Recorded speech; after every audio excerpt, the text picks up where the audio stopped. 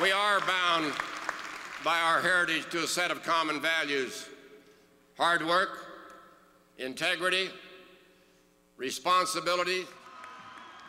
Bob Dole was the very embodiment of those values, a man who rose from humble beginnings to become one of the most powerful people in the United States.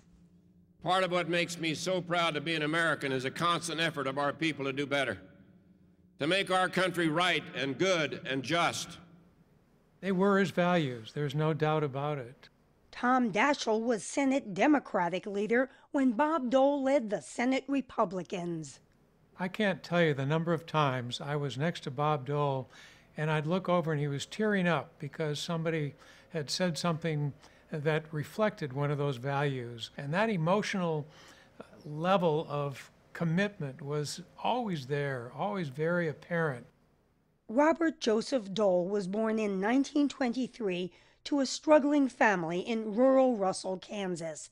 He was a high school athlete who wanted to be a doctor, but World War II intervened. Advancing against German fortification, I'd been hit with something that shredded my right shoulder, paralyzed me from the neck down, and disfigured my 21 year old frame. He lay on the battlefield for 10 hours. But Bob Dole's wife, Senator Elizabeth Dole, says her husband was never bitter about his wounds. Let me share with you what happened when we were visiting my parents in North Carolina. Bob left his bedroom and he had a towel over his shoulder that had been crushed. He walked up to my mother and he said, Mrs. Hanford, I think you should see my problem. And she said, Bob, that is not a problem. It's a badge of honor. Earlier this year, Bob Dole told me that he recovered with moral and financial support from his hometown, symbolized by this cigar box. My friends in Dawson Drug Store in Russell, Kansas, when they heard that I was wounded, they passed the box around and kept it on the counter and asked people to give money. He never forgot that generosity. If I have done anything, it's because of people I have known up and down Main Street, and I can recall the time when, when I needed help, uh, the people of Russell helped. And I think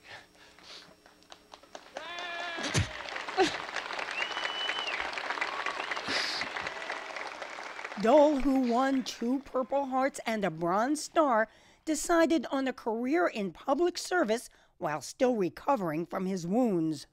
I figured out that lying in bed the rest of my life was not an option. Bob Dole got a law degree and plunged into politics. He was elected to the Kansas State Legislature, then the U.S. House of Representatives. In 1968, he won a Senate seat and soon became chair of the Republican National Committee. But Americans really got to know him in 1976. I'm extremely proud to introduce to you Senator Bob Dole of the great state of Kansas as my running mate for victory in 1976. Bob?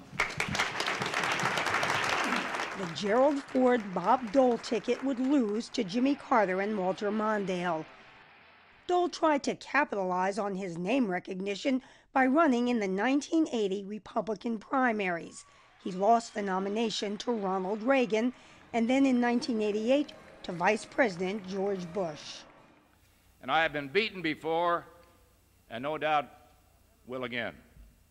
But I have never been defeated and never will be. So. Dole did win a key race in the Senate in 1984, becoming Republican leader. The final vote 28 to 25. Outgoing Majority Leader Howard Baker officially introducing the winner. Congratulations, Bob. Senator Dole was a mainstream Republican, advocating for lower taxes and smaller government, but he also supported civil and disability rights. And he was proudly a deal maker. I do work hard, and I get along with a lot of people on both sides of the aisle. He prided himself on figuring out compromises.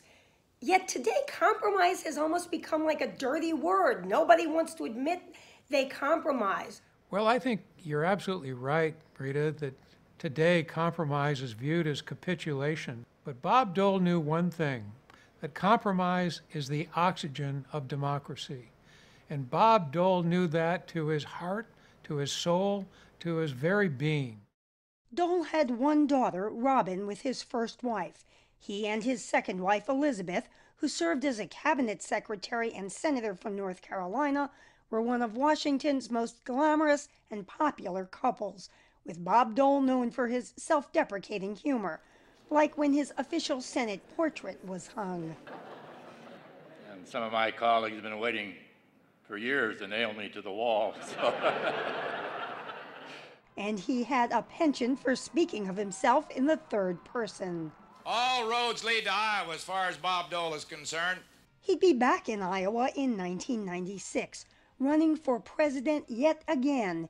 He even gave up his Senate seat to campaign full time after he finally clinched his party's nomination.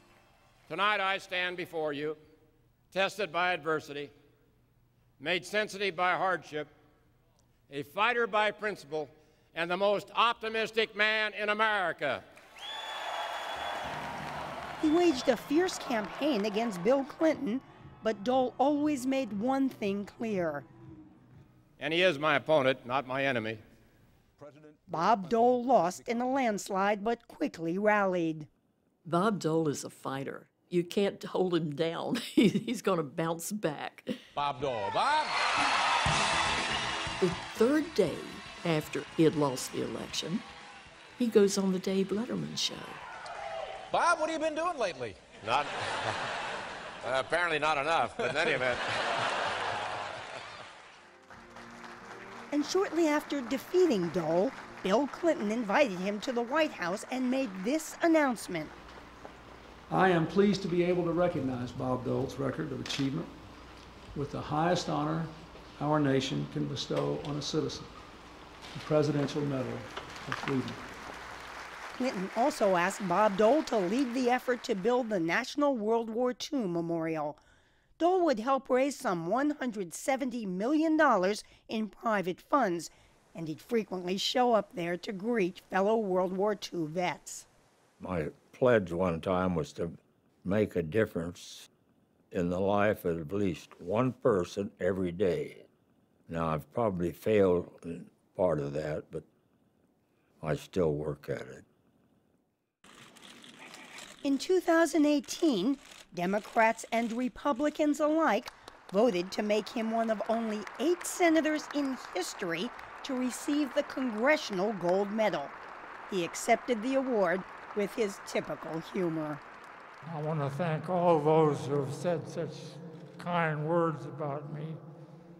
They're probably not true, but they were nice.